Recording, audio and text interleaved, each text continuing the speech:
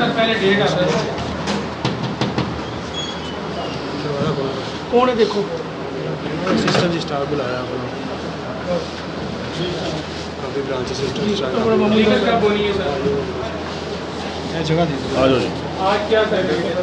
इधर आ जाओ। चलो उस आ जाओ मैं सर जो है ना तकरीबन इनके पास शायद इसके इस डेट के दो तीन दिन बाद आया। याद है? आप सुने सर इन्होंने कहा कि जी ना तू दिखो पूरी सर बात दायरे सुनेंगे तो मेरा दूधी पॉइंट ये है कि मैं इनके पास आया इन्होंने कहा कि हूँ। सिर्फ़ मुझे सिर्फ़ इशू क्या है? आप वकील हैं? बिल्कुल सर। ये हाईकोर्ट का बिल्कुल सर ये हम ये सारे हमें सर्व करने के लिए बैठे हैं। पब्लिक को भी ठीक सर- है और मैं किसी एक बंदे की नुमाइंदगी नहीं कर रहा। मैं यहाँ वकालत भी करता हूँ मैं हाई कोर्ट बार की भी करता हूँ। बिल्कुल। मैं ये जितने यहाँ काम करते हैं सब की करता हूँ। मैंने सर मैं मैं बायस नहीं हो सकता। बिल्कुल ठीक मैं यकतरफा नहीं हो सकता। आपकी मदद सिर्फ़ और सिर्फ़ वकील होने की वजह से मैं नहीं कर सकता। सर, मैं मदद लूँगा।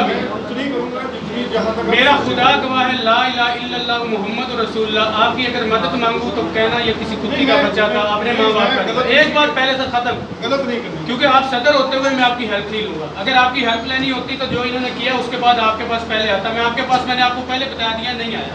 इन्होंने किया क्या है? फाइनली कितनी बार आ चुका हूँ, मैंने इन्हें कहा कि मेरी कॉपी नहीं होगी, मैं कॉपी ब्रांच के शीशे तोड़ दूँगा।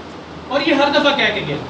आज मैंने इन्हें जब कहा, मैंने जो काउंटर पे बैठा था, मैंने उसे कहा, मैंने कहा रेड पेंसिल से लिख के ये जो है कापी का, ये जो कापी नंबर है, जो साहब यहाँ इंचार्ज है, उनको दे दो और उन्हें ये कह दो कि मैं कापी ब्रांच के शीशे तोड़ दूँगा।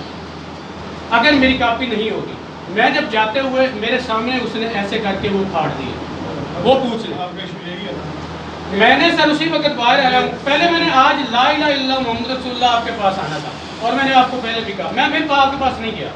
वहाँ डंडा पड़ा था। पता नहीं सर सुन ले। सर इसलिए नहीं आया। जब उसने फाड़ दिया अब आपका क्या रह गया?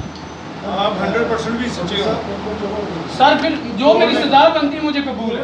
मैं आपकी हेल्प नहीं लूँगा। मैंने सर ना बुकला की हेल्प लेनी है। वहाँ आज दो तीन दो दिन पहले मैं बुकला के खिलाफ खड़ा हो गया था सिविल पार में। वहाँ सिर्फ़ बात इतनी थी कि लिफ्ट पे जो है ना ए, लोग चढ़ रहे थे। सारे